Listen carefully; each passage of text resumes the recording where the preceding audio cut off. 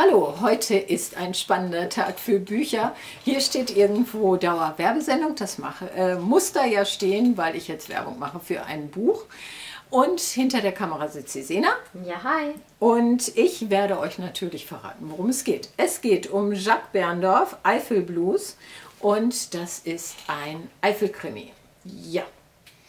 Ihr kennt ja diese lokalen Krimis. Ich bin leider in der Eifel nicht so zu Hause. Ich war da nur mal auf Klassenfahrt, mochte die Eifel aber total gerne und darum habe ich mich sehr gefreut, diesen Krimi entdeckt zu haben. Ja, worum geht es? Es geht um einen Journalisten, um Siggi Baumeister. Der hat ein Bauernhaus sich irgendwann mal gekauft, denke ich, in der Eifel und ist da gerade dabei, sich eine Mauer anzulegen. Er hat Urlaub, er ist nämlich eigentlich Journalist und genießt es einfach mit seiner Katze Krümel in dem Bauernhaus zu sein. Ja, aber da geht natürlich schon wieder das Telefon und sein Chef ruft an und sagt, pass mal auf, da ist was faul in der Eifel, häng dich mal an den Fall ran.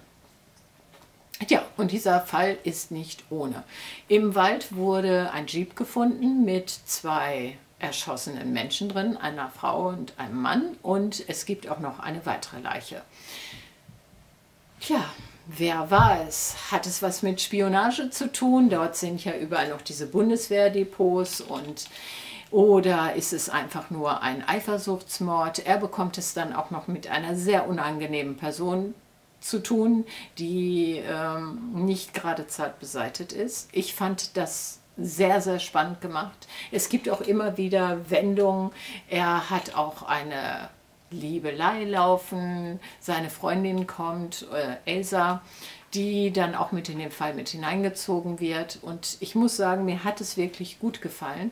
Ich dachte erst, na ja, wenn das so viel mit Bundeswehr und so weiter zu tun hat, ist das eigentlich was für dich. Aber ich muss sagen, ich mochte ihn. Ich mag Elsa, ich mag die Katze Krümel und ich mag natürlich die Eifel. Von daher war das alles sehr, sehr schön. Es ist wirklich sehr gut durchdacht. Es ist gut konstruiert. Ich bin da sehr lange auf falschen Fährten rumgetappt, aber es war wirklich spannend. Wenn ihr euch also für Krimis interessiert, wenn ihr vielleicht sogar in der Eifel zu Hause seid, dann ist das garantiert was für euch. Mir hat es jedenfalls sehr, sehr viel Spaß gemacht, diesen Krimi zu lesen und ich habe auch schon den Nachfolgeband auf dem Sub liegen, der wird garantiert jetzt irgendwann auch gelesen. Also das ist eine entsetzlich lange Reihe. Ja, ich glaube, es gibt gab es nicht über fast über 20, also ja. ich glaube über 20 Teile.